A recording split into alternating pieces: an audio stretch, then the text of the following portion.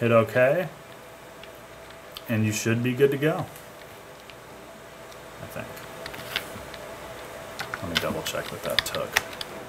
Nope, I missed a step.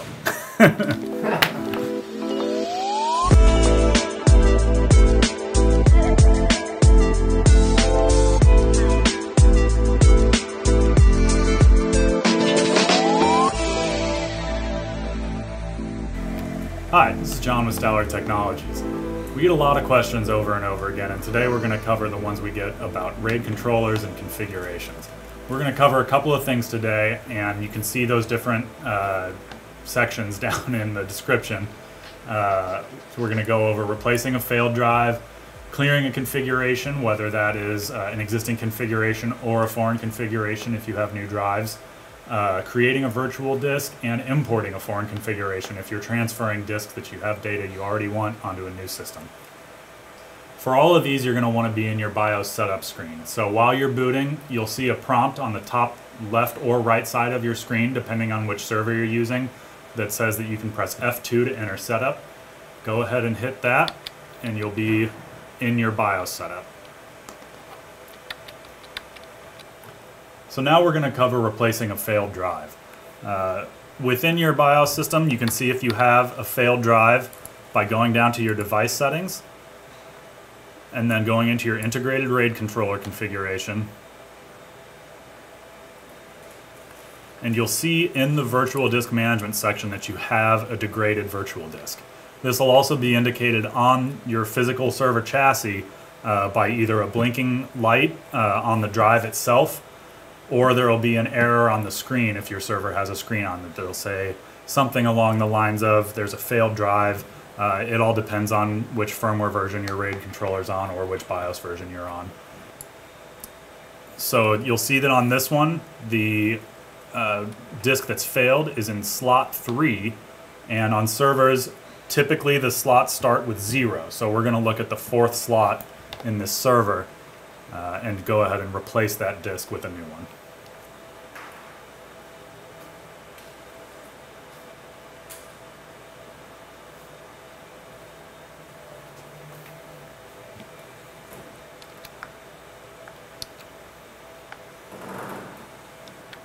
So now that we've replaced that drive, we can go back into our RAID controller configuration utility, check our physical disk management, and you'll see that it's recognized that we put a new drive in and it's already started rebuilding. This will be the case if you've got a RAID 1 or a RAID 5 that's capable of rebuilding. Now depending on the size of your array and which actual RAID you're in, this could take anywhere from a couple of hours to a couple of days, so just be patient. But you should be back up and running shortly. So if you're creating a new array or you've got some new drives, uh, you may need to end up clearing your old configuration. If you have new drives that used to be in a different configuration, they'll have what's called a foreign config. That allows you in most situations to be able to save an old array in a new system, but today we're just talking about clearing it. You're going to want to go into your configuration utility, and from there the configuration management menu will be where you can manage both of these things. Now in this system I have both drives from an array that I'm clearing that existed on this system. Those will take, get taken care of by hitting clear configuration. I'll just confirm that and then hit yes and it'll tell you this operation was successful. In case of a foreign configuration, which I also have two drives in this system that I set on another one, you can either preview or clear your foreign configuration and you do the same thing, just hitting confirm and then hitting yes and those all your drives should now be ready to put into a new array. In this section, we're going to be creating a new virtual disk. You're going to go into your configuration utility, hit configuration management, and create virtual disk. Now this is going to populate the RAID configurations that are available to you based on which disks you have in the system. I have four identical ones in there right now, so it's giving me these options, but if you only have one, it's just going to show you a RAID 0. Uh, and if you have multiples of the same, it'll populate RAID 1, 5, 6, and 10, uh, etc. In this one, we're just going to be creating a RAID 5, uh, and you can leave everything else on this page default. Uh, we're just going to select our physical disks. Uh, I'm going to select all of them by hitting the spacebar, and then hit Apply Changes.